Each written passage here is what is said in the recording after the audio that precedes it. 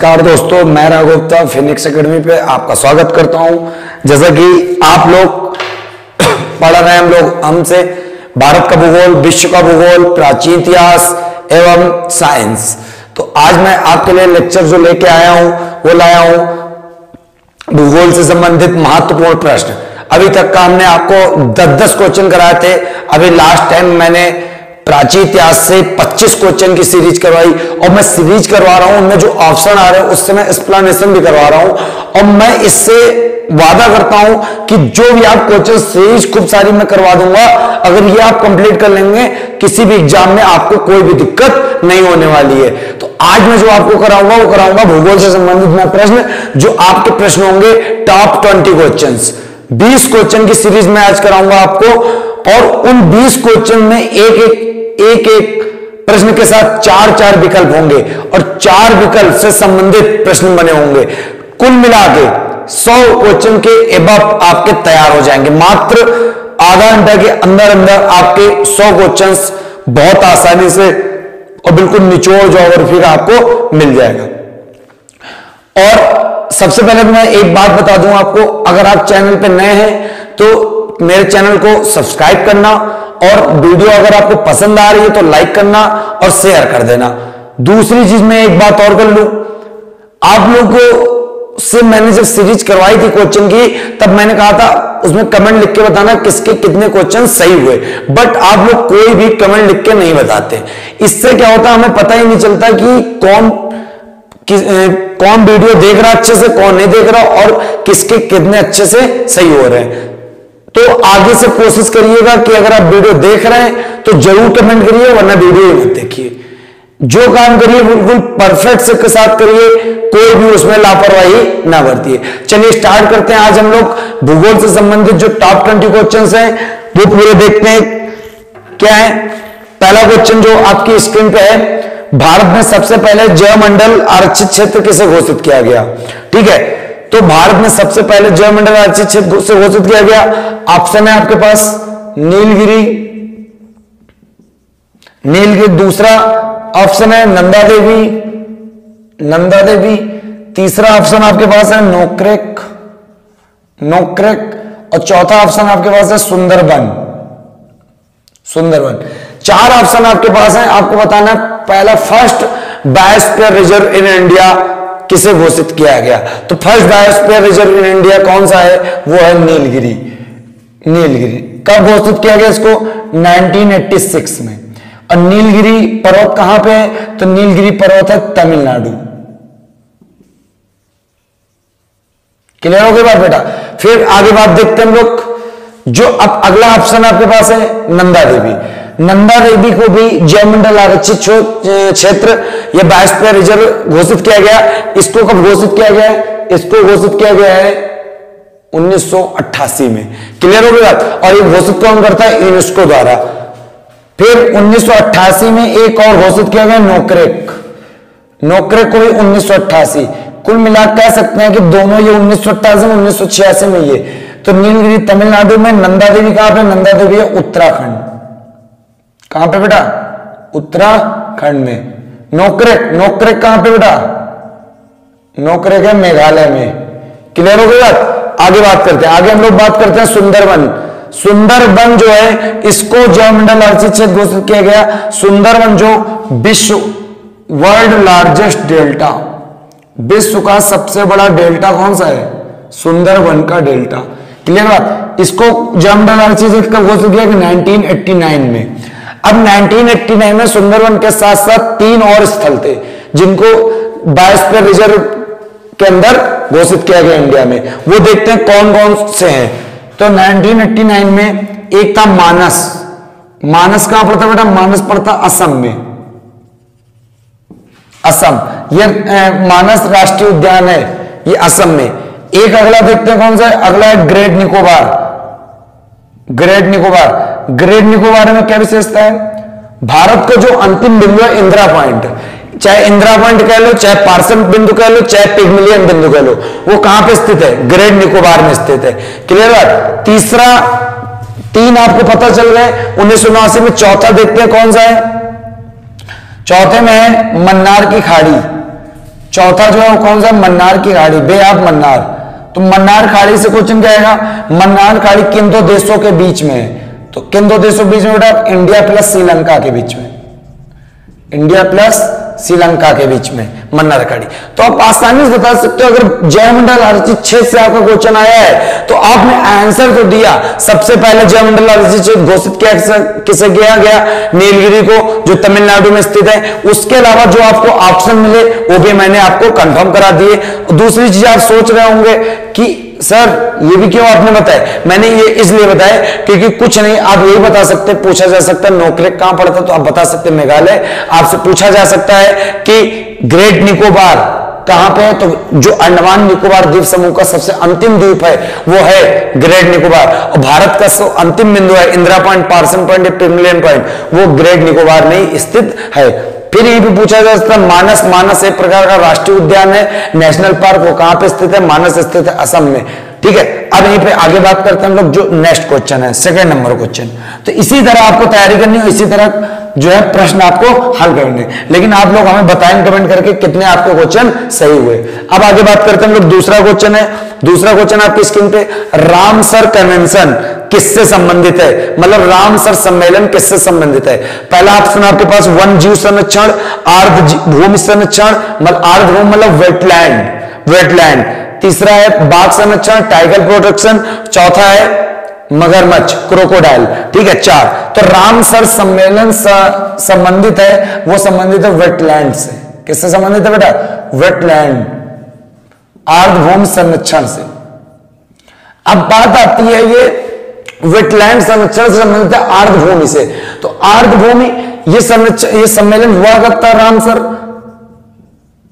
Ramsar सम्मेलन हुआ करता तो रामसर सम्मेलन जो हुआ था, वो हुआ था दो फरवरी 1971 दो फरवरी 1971 को। तो इसीलिए एक पेपर में और क्वेश्चन बनता है, विश्व आर्द्र भूमि दिवस कब मनाया था? World wetland day. World wetland day.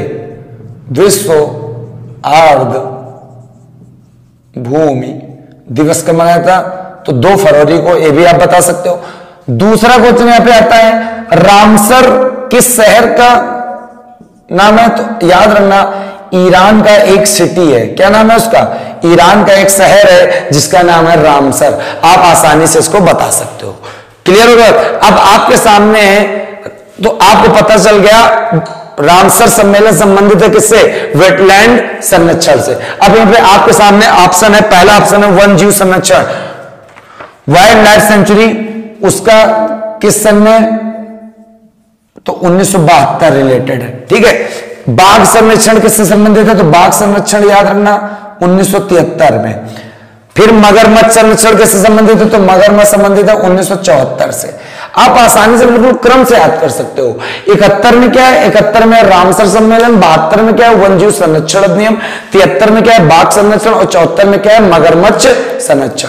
आसानी से दूसरा क्वेश्चन भी आपको बहुत अच्छे से, बढ़िया मज़े से याद हो गया होगा। अब आगे बात करते हैं हम लोग तीसरा क्वेश्चन जो आपकी स्क्रीन पे निम्नलिखित में से कौन सा पा, नेशनल पार्क मगरमच्छ के लिए प्रसिद्ध है? ऑप्शन है गिर राष्ट्रीय उद्यान Kaziranga Keoladeo Mount Harriet तो याद रखना मगरमच्छ के लिए जो प्रसिद्ध है वो प्रसिद्ध है माउंट हैरियट और माउंट हैरियट कहाँ पर है? तो याद रखना माउंट हैरियट आपका है अंडमान एंड निकोबार द्वीप समूह में। अंडमान एंड निकोबार। द्वीप समूह में। क्लियर हो गया अब यहीं पे बात आती है, माउंट हैरियट तो प्रसिद्ध हो गया। किसके लिए? मगरमच्छ के लिए, अंडमान निकोबार में। ऑप्शन है आपका गिर। गिर कहाँ पर है? तो गिर है गुजरात में। और गिर किसके लिए प्रसिद्ध है? तो याद रखना, एशियन लायन। Asian Lions. एशियाई शेरों के लिए कौन सा प्रसिद्ध है? तो गिर राष्ट्रीय उद्यान प्रसिद्ध है। अगला ऑप्शन आपके पास है, वो है काजीरंगा। काजीरंगा। काजीरंगा कहाँ पे बेटा है? काजीरंगा है असम में और ये किसके लिए प्रसिद्ध है? एक सिंह गैंडे के लिए। एक सिंह गैंडे के लिए प्रसिद्ध है। अगला क्वेश्चन बेटा आपके पास, अगला ऑप्शन है, केवला देव। केवला देव कहाँ पे है? केवला देव बेटा है, भरतपुर। भरतपुर भरतपुर जिला का नाम है और ये कहाँ पड़ता है? ये पड़ता है राजस्थान में और ये किसके लिए प्रसिद्ध है? तो याद रखना, साइबेरियाई सारस के लिए। साइबेरियाई क्रेन के लिए। हम जो एक क्वेश्चन आपसे करा रहे हैं और एक क्वेश्चन के साथ इतने क्वेश्चन बन रहे हैं कि आप आसानी से बहुत ही कम समय में इन क्वेश्चंस के माध्यम से ज्योग्राफी के बहुत नज़दीक जा सकते हैं। जिनका पेपर पास लगा होगा और जिनको प्रैक्टिस करनी है ज्योग्राफी में, आसानी से आप लोग ये पूरा कवर कर सकते हैं। आगे बात करते हैं हम लोग चार नंबर क्वेश्चन चार नंबर क्वेश्चन आपकी स्क्रीन पे जो आया वो देखते हैं कि कौन सा नेशनल पार्क मध्य प्रदेश में नहीं स्थित है? ऑप्शन है, माधव पन्ना, पंचमढ़ी, मेलघाट। तो सबको पता होगा, मेलघाट जो है, मेलघाट जो नेशनल पार्क है, ये स्थित है महाराष्ट्र में। कहाँ पे स्थित है बेटा? महाराष्ट्र में। और यहाँ पे जो ऑप्शन है, पन्ना, माधव और पंचमढ़ी, ये कहाँ पे स्थित है? ये स्थित है एमपी में। एमपी के और देख लेते क्या क्या है। एमपी में याद रखना, सतपुड़ा, पहाड़ियाँ भी है, सतपुड़ा और कान्हा राष्ट्रीय उद्यान। कहाँ पे है? ये भी आपके एमपी में है। और एमपी में एक है, जिसका नाम है पेंच। और पेंच ऐसा राष्ट्रीय उद्यान है, जो एमपी प्लस महाराष्ट्र दो राज्यों की सीमा पर स्थित है। और याद रखना कम हिस्सा, पेंच का कम हिस्सा कम हिस्सा कहाँ पर पड़ता है? महाराष्ट्र में। इसीलिए भारत का सबसे छोटा राष्ट्रीय उद्यान। भारत का सबसे छोटा राष्ट्रीय उद्यान कौन सा? पेंच। कहाँ का वाला पेंच है? महाराष्ट्र का। सबसे छोटा नेशनल पार्क। फिर बेटा नेक्स्ट बात करते हैं हम लोग। चार क्वेश्चन हमने कंप्लीट करिए बहुत अच्छे से। नेक्स्ट क्वेश्चन है, कोंकण तट कहाँ से कहाँ तक फैला हुआ है? आपके ऑप्शन है, गोवा से कोची गोवा से दमन, गोवा से दीव, गोवा से मुंबई। आपको स्क्रीन पे दिख रहे होंगे। तो अब कोंकण तट कहाँ से कहाँ तक फैला है? तो आसानी से आप बता सकते हो, कोंकण तट गोवा से दमन तक फैला हुआ है। आसानी से बता देना। एक आता है कोंकण तट रेलवे की लंबाई। कोंकण तट रेलवे की लंबाई कितनी है? तो याद रखना 760 किलोमीटर।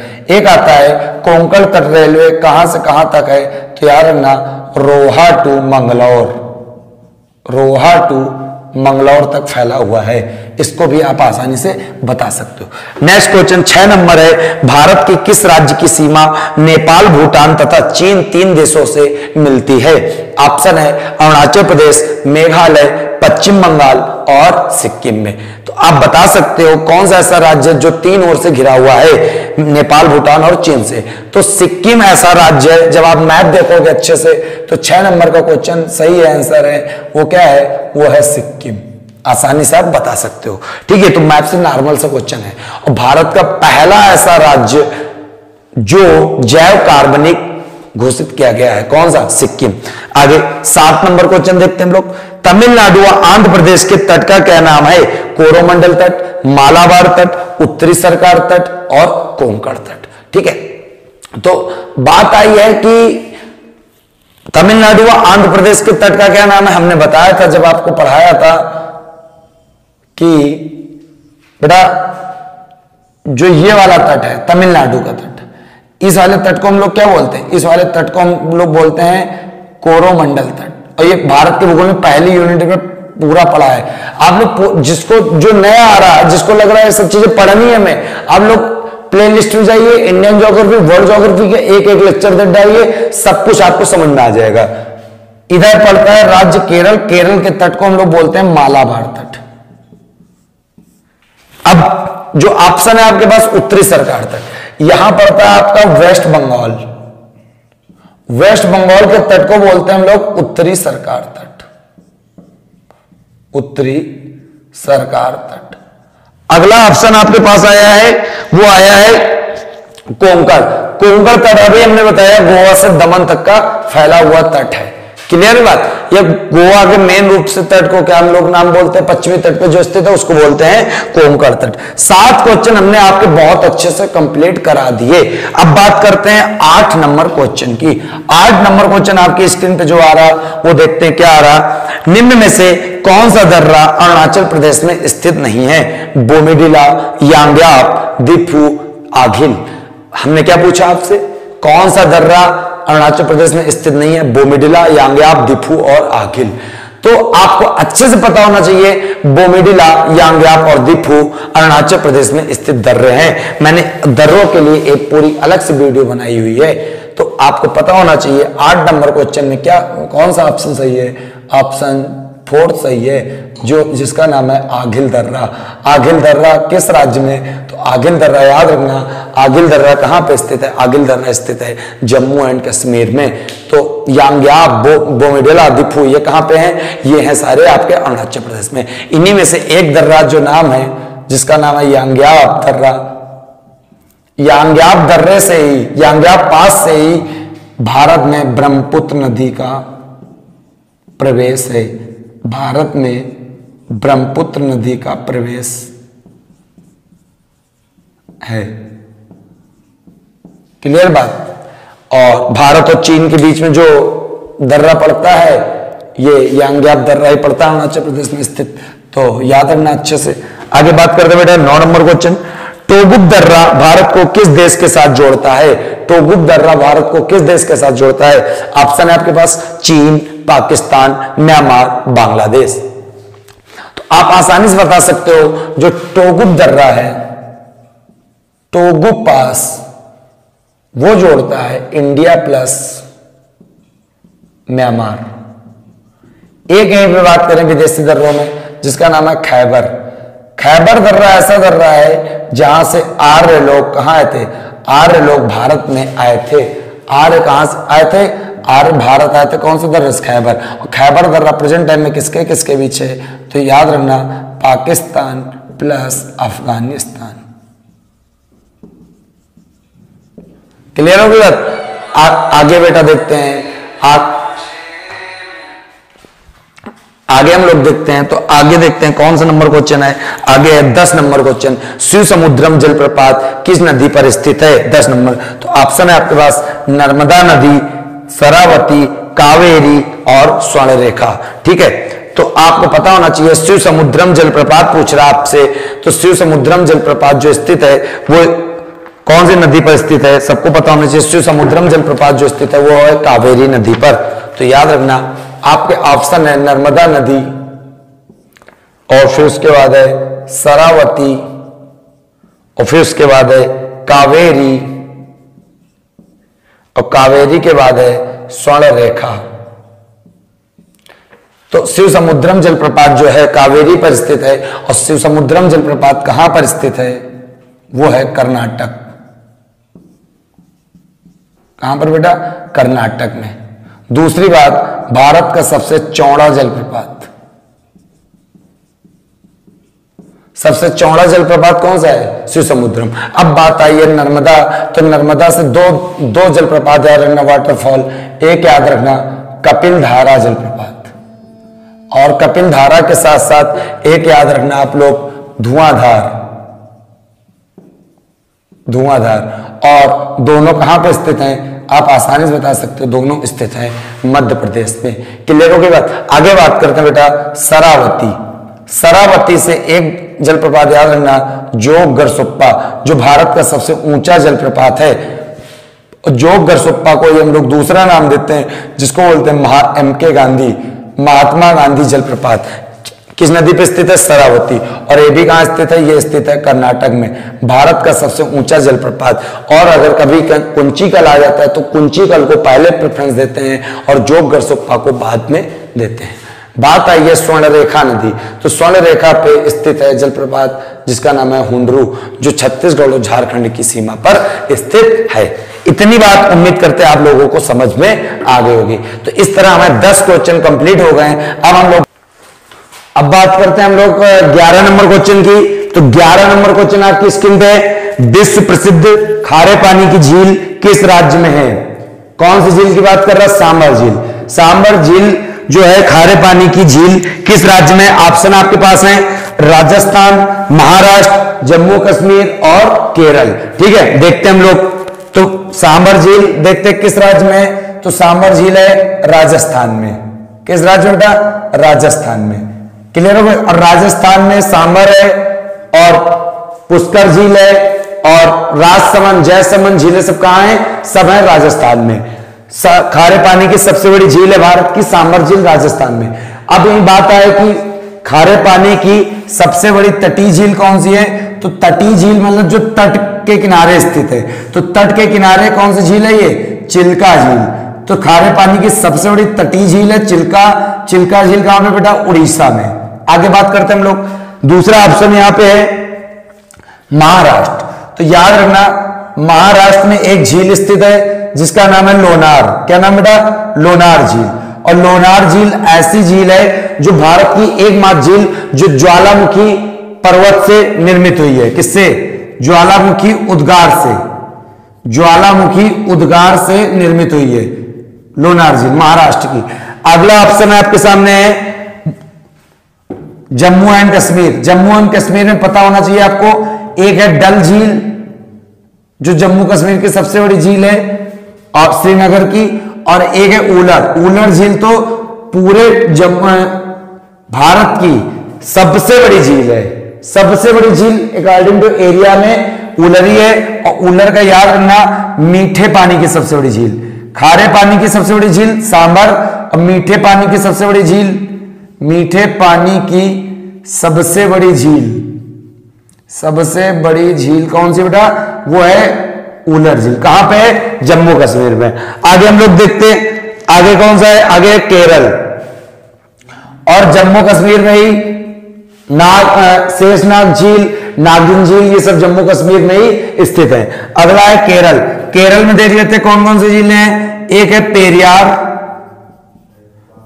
और एक है अष्टमुडी झील और एक है वेबा नट झील, वेबा नट झील। तो ये सारी झीलें कहाँ पे स्थित हैं? ये सारी झीलें हैं केरल में स्थित। अब आगे हम लोग बात करते हैं अगला क्वेश्चन। अगला क्वेश्चन बेटा, बारह नंबर। बारह नंबर क्वेश्चन हमारे सामने क्या स्क्रीन में? नीरी का मुख्यालय कहाँ पे है? नीरी का मुख्यालय कहाँ पे है? तो नीरी का मुख्यालय ऑप्शन है जादूगोड़ा, करनाल, नागपुर, शिमला। ठीक है? तो पहला ऑप्शन है जादूगोड़ा दूसरा है करनाल,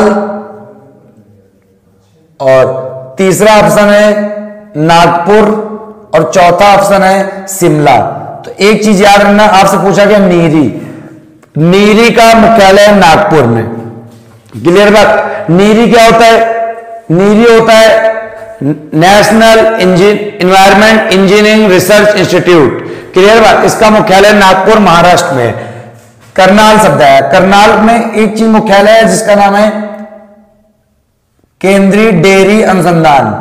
केंद्रीय डेयरी रिसर्च सेंटर कहाँ पे अनुसंधान केंद्र। तो केंद्रीय डेयरी अनुसंधान केंद्र है, यह करनाल हरियाणा में। हरियाणा में। क्लियर हो गए नेक्स्ट बेटा बात करते हैं जादू घोड़ा जादू घोड़ा में केंद्रीय ईंधन खनन अनुसंधान है। केंद्रीय ईंधन खनन अनुसंधान है। शिमला शिमला में क्या है? केंद्रीय आलू शोध संस्थान। क्या है? केंद्रीय आलू शोध संस्थान। आप लोग देख रहे होंगे कि हमारे क्वेश्चन उस प्रकार आ रहे हैं और ऑप्शन भी उसी हिसाब से सेट है, जिसमें जो चीज़ पूछी जा रही, उसी के अकॉर्डिंग अगले भी क्वेश्चन उन्हीं ऑप्शन से बन रहे हैं। इससे अगर आप प्रैक्टिस कर रहे हैं, हम नहीं सोचते हैं कि इससे आपको 400 500 क्वेश्चन बड़े आसानी से याद हो जाएँगे। आगे बेटा हम लोग बात करते हैं। आगे अगला क्वेश्चन जो आएगा, आपकी स्क्रीन पे तेरह नंबर। गंगा नदी को बांग्लादेश में किस नाम से जाना जाता है? ऑप्शन में पद्मा, जमुना, मेघना और सांगपो। क्लियर हो गया तो गंगा नदी को बांग्लादेश में। तो पता होना चाहिए आपको, ये गंगा नदी बह गई।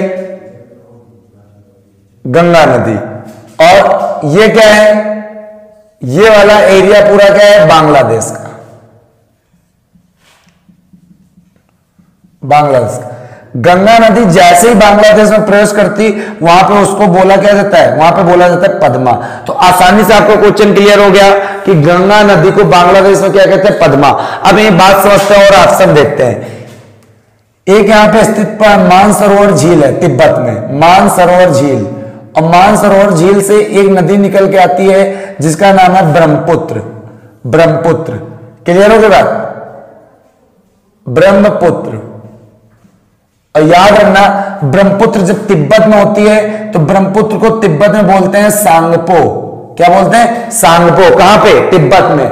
आगे बात करते हैं। जब ब्रह्मपुत्र बांग्लादेश में आती तो बेटा उसको क्या बोलते हैं? बांग्लादेश में उसको बोलते हैं जमुना। हमने सारे ऑप्शन आपको क्लियर करा हूँ और जब गंगा और ब्रह्मपुत्र दोनों बांग्लादेश मिलते हैं तो वहाँ पे जो नाम से आगे धारा रहती है, वो कौन सी होती? वो होती है मेघना।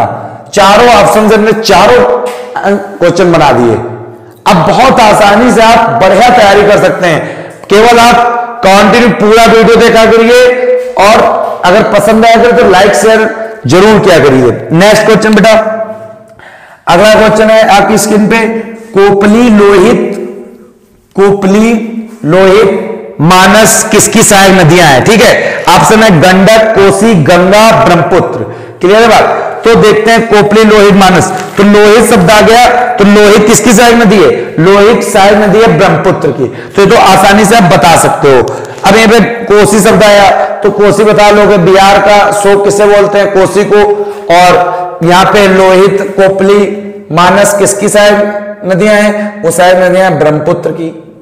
और ब्रह्मपुत्र का एक क्वेश्चन याद रखना। भारत के बाहर से आकर, भारत के बाहर से आकर, भारत में बहने वाली सबसे लंबी नदी, भारत में बहने वाली सबसे लंबी नदी, कौन सी है?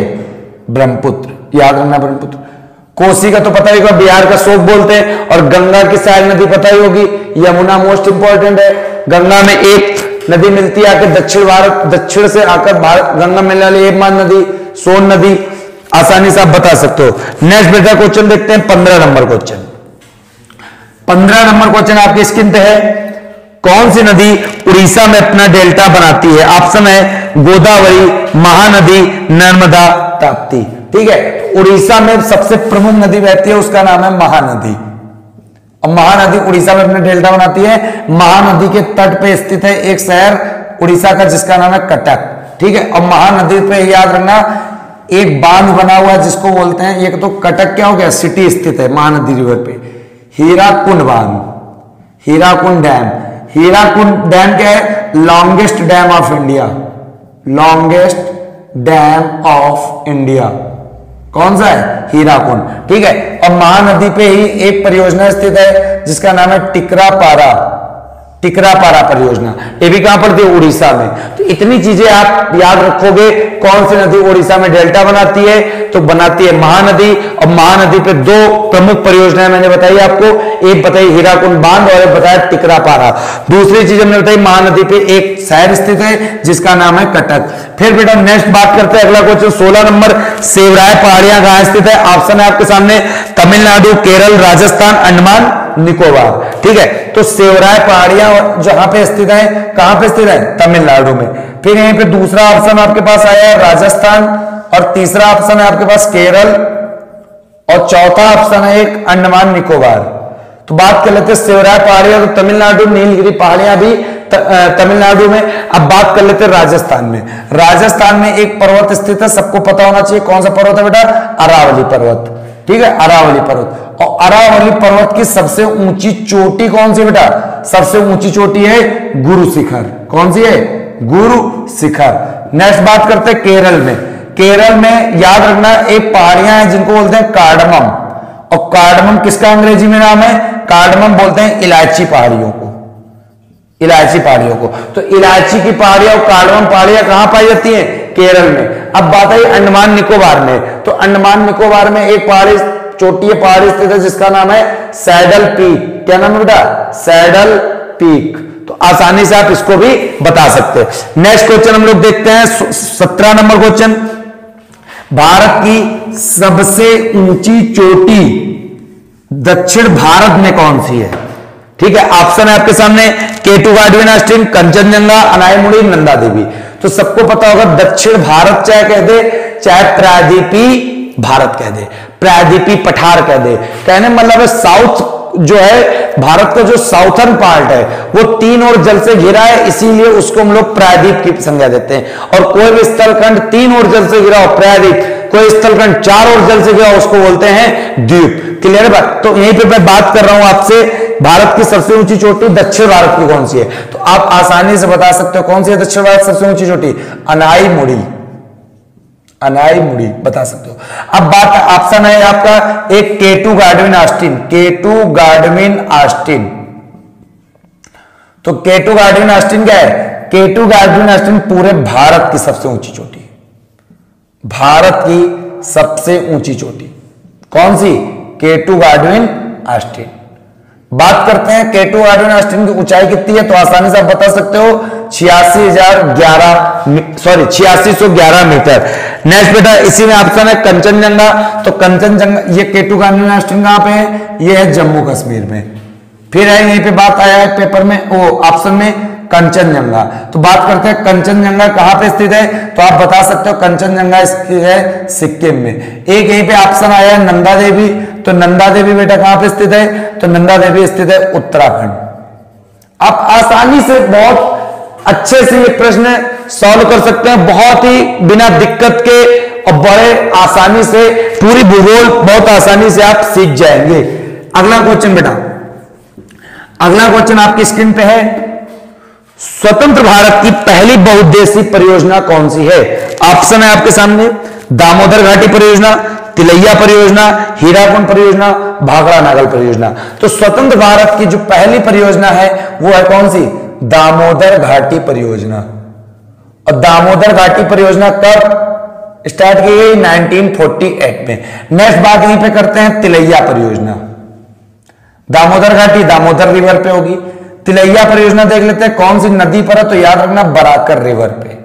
कौन सी रिवर पे? बराकर। और बराकर रिवर किसकी सहायक नदी है? ट्रिब्यूटरी है। तो ये है किसकी? यह है दामोदर की। अब बंगाल का शोक किसे बोलते बंगाल का शोक बोलते हैं दामोदर को। बंगाल का शोक किसको बोलते हैं? दामोदर को। बिहार का शोक किसको बोलते हैं? कोसी को। नेक्स्ट यहीं पे बात ऑप्शन आया आपका हीराकुंड। हीराकुंड में पहले ही बता दिया, हीराकुंड जो परियोजना है, बाँध है, वो भारत का सबसे लंबा बाँध है। क्लियर है बात? फिर नेक्स्ट बात आई है, वो कौन सी है? ये भाखड़ा नागल। तो भाखड़ा नागल कहाँ पे भाखड़ा नागल पता होना चाहिए, है पंजाब में। और किस नदी पे है? तो पता होना चाहिए सतलज रिवर पे। और भारत का सबसे ऊँचा गुरुत्वी बाँध है। भारत का सबसे ऊँचा गुरुत्वी डैम कौन सा है? तो वो हीराकुंड है। नेक्स्ट क्वेश्चन बेटा, बात करते हैं हम लोग 19 नंबर क्वेश्चन 19 नंबर क्वेश्चन आपके स्क्रीन पे लगा हुआ है। जाड़ों के समय में भारत में सबसे ज़्यादा वर्षा कहाँ होती? है ऑप्शन है आपके पास तमिलनाडु, मेघालय, केरल, पश्चिम बंगाल। हमने आपको बताया था भार, भारत जो है भारत के भारत जो महासागर है वहाँ पे स्थित है इंडियन ओशियन। और ये पश्चिम पे एक राज्य जिसका नाम है केरल और ये पूरब में राज्य जिसका नाम है तमिलनाडु। मैंने बताया था जो भारत में मानसून आता है वो कौन सी दिशा से आता है बेटा? वो आता है साउथ वेस्ट से। क्लियर बात? साउथ वेस्ट से आता है सबसे पहले कहाँ पहुँचता है? सबसे पहले पहुँचता है केरल पे। और केरल में वर्षा करता है। ये कब आता है? जून का पहला सप्ताह होता है। ये केरल में सबसे पहले प्रवेश करता है केरल में ही सबसे ज़्यादा वर्षा कर, करता है सबसे पहले। दूसरी बात जून के पहले सप्ताह में आता है। अगर यही बात आ जाए कौन से तट पे सबसे पहले वर्षा होती? तो यार नाम मालाबार तट पे। क्लियर हो गया? अब ये मानसून जाता है आगे तो यहाँ पड़ता है मेघालय। मेघालय। और मेघालय में तीन पहाड़ियाँ स्थित हैं। गारो खासी जयंतिया। इसीलिए पेपर में आता है कि गारो खासी जयंतिया जनजाति कहाँ पे? मेघालय में। तो ये मानसून पूरा ऐसे ऐसे चला जाता है आगे। तो यहाँ पे गारो खासी जयंतिया पहाड़ी की विशेषता मैंने बताई थी। ये पहाड़ियाँ, ऐसी पहाड़ियाँ जो तीन ओर से घिरी हुई हैं। ठीक है? इनमें जब मानसून जाएगा, जिस रास्ते से, उसी रास्ते से वो वापस आएगा तो जब उसी रास्ते से वो वापस आएगा तो इसी कारण यहाँ पे टकरा के सबसे ज़्यादा वर्षा हो जाती। तो मेघालय का क्वेश्चन क्या बनता? मेघालय में एक शहर स्थित है जहाँ पे नाम है मासी नाम। इसीलिए सबसे ज़्यादा भारत में वर्षा कहाँ होती? मासी नाम मेघालय में। सबसे पहले मानसून कहाँ था केरल में। अब यही मानसून जब लौटता है इधर से तो तमिलनाडु के कोरोमंडल तट पे वर्षा करा देता है। कोरोमंडल तट पे वर्षा करा देता है। चाहे तमिलनाडु कह लो, चाहे कोरोमंडल कह लो, अब चाहे इसको आप लौटते हुए मानसून कह दो, चाहे नॉर्थ ईस्ट, उत्तर पूरब दिशा वाला मानसून कह दो तो आपके अब 19 क्वेश्चन बहुत आसानी से कंप्लीट हो गए। 19 क्वेश्चन हम उम्मीद करते हैं आप लोग सीखे होंगे। अब जो आज हमारी टॉप ट्वेंटी क्वेश्चन का लास्ट क्वेश्चन है भूगोल में, वो देखते क्या है? भारत का सबसे ऊँचा प्लेटू पठार कौन सा है? ऑप्शन है आपके पास दक्कन, लद्दाख, पामीर, तिब्बत। ठीक है? तो सबसे ऊँचा पठार कौन सा है? लद्दाख। आगे बात करते हैं दक्कन। दक्कन क्या है? ये हो गया सबसे ऊँचा पठार, भारत का। दक्कन क्या है? सबसे बड़ा पठार। बड़ा पठार हो गया कहाँ का? इंडिया का। फिर ऑप्शन में आपके पास पामीर। पामीर के बाद एक ऑप्शन में तिब्बत। तो पामीर याद रखना, सबसे ऊँचा पठार विश्व का कौन सा है? विश्व का पठार सबसे ऊँचा। तो कौन सा है पामीर? नेक्स्ट बात करते तिब्बत। विश्व का पठार सबसे बड़ा कौन सा है? विश्व का पठार सबसे बड़ा। तो सबसे बड़ा कौन सा बेटा? तिब्बत। तो आप इसको आसानी से बता सकते हैं। क्लियर आज आपके 20 क्वेश्चन टॉप 20 क्वेश्चन ज्योग्राफी में मैंने कराए। अब उम्मीद करते हैं आप लोगों को 20 क्वेश्चन में कमेंट ज़रूर करना है, कितने क्वेश्चंस आपके सही हुए और अगर आप कमेंट करेंगे तो हमें पता होगा कि हम सही मेहनत कर रहे हैं और आप भी हमारे लोग साथ सपोर्ट कर रहे हैं। अगर आप सच में हमें सपोर्ट करना चाहते हैं तो आप कमेंट करके ज़रूर बताइए। अगर हम लोग इतनी मेहनत कर रहे हैं तो आप लोग क्या कमेंट नहीं कर सकते? एक कमेंट केवल आप कर दीजिए कि मेरे इतने क्वेश्चन सही हुए। और वे सीरीज़ चल रही सीरीज़ ना चल रही हो तो आप पढ़ के चले जाइए, कोई दिक्कत नहीं। ठीक है? अब हम आप लोगों से मिलेंगे एक नई वीडियो के साथ। अब मैं आपको सब कुछ कंटिन्यू कराऊँगा। अभी 20 क्वेश्चन की सीरीज़ और आएगी जो वर्ल्ड जोग्राफी से रिलेटेड होगी। अब सब कमांड और मिक्सअप क्वेश्चन आने आपके सामने। ठीक है? तो मैं अगर एक बार फिर से आपसे कहता हूँ, अगर आप चैनल पर नए हैं, चैनल को सब्सक्राइब करिए, लाइक, शेयर करना बिल्कुल ना भूलिए और सब्सक्राइब के बगल में बेल आइकन दबाना बिल्कुल ना भूले जिसके हमेशा आपको नोटिफिकेशन सबसे पहले फिनिक्स अकेडमी पे प्राप्त हो। धन्यवाद।